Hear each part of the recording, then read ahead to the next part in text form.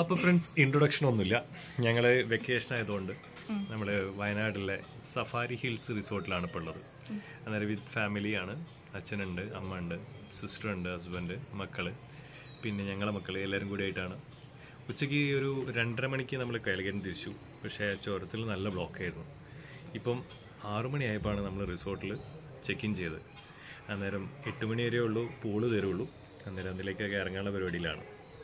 ബാക്കി നീ പറഞ്ഞു.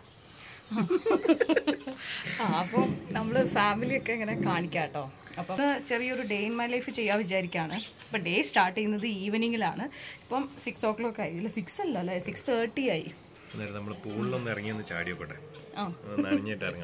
അപ്പോൾ അങ്ങനെ. അപ്പോൾ കുറച്ച് കഴിഞ്ഞ് കാണാം.